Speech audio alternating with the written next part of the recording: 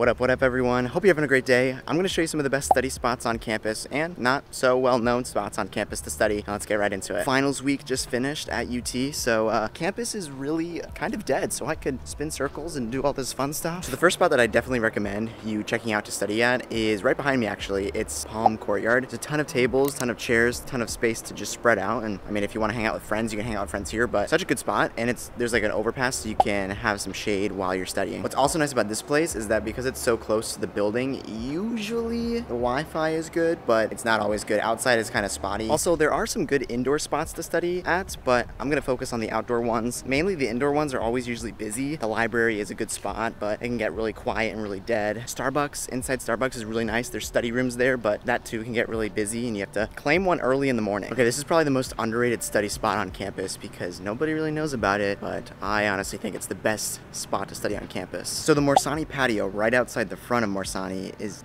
so nice. It's this really peaceful area that nobody really goes to because you can't really see it when you're walking out on the street. But I go here all the time. Well, not all the time, but I go here a lot and it's really good. There's shade here too, which is nice. Umbrella. There's an umbrella and a picnic table. There's like four tables. But yeah, so I just revealed uh, probably the best spot on campus and now it's up to you to study here. Also tell me why it's uh, December 16th and I am sweating. Sheesh. So I recently discovered this next one and it's really cool because it's right next to Straz Hall and there's a few picnic tables that nobody really knows about by the baseball field and um, they're in the shade too. Can't beat the shade in Florida and they've been really helpful to study at or take breaks at. So yeah, there's these two picnic tables right next to Straz, but it's a cool spot. There's always shade, and there's also bathrooms right behind me. So if you need to go to the bathroom while you're studying, hey, a little private bathroom because nobody really uses those bathrooms during the day except during like baseball games. If you found a new study spot at all on this video, make sure to give this video a thumbs up so it can spread to more people. I do gotta take a break though because it is so hot out here. I feel like it's always whenever I try to film outside, it's just super hot and I'm always sweating like in my one of my other videos over the summer. Oh my gosh. Like sweat coming down. And speaking of this video, this was my what you actually need to bring to college video. And at the time of editing this video, it's in between the fall and spring semester. So if you're coming to college for the first time or you're coming back to college, make sure to check out that video so you can get some stuff that you actually need.